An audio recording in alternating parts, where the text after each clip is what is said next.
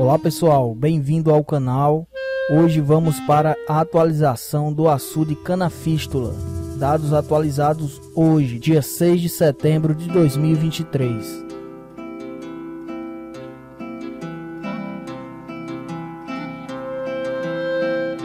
O açude hoje se encontra na cota 90 no centímetro 43.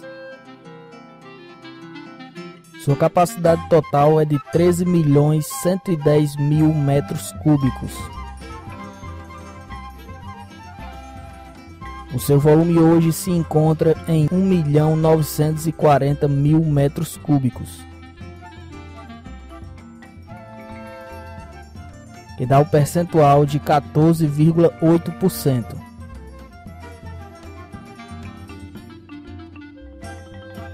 Nas últimas 24 horas diminuiu 0,07%.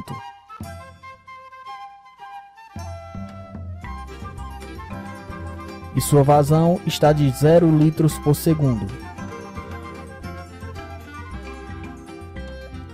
Eu sou Hércules do Gelo, produtor e editor de vídeos deste canal. Peço que se inscreva para nos fortalecer aqui na plataforma do YouTube.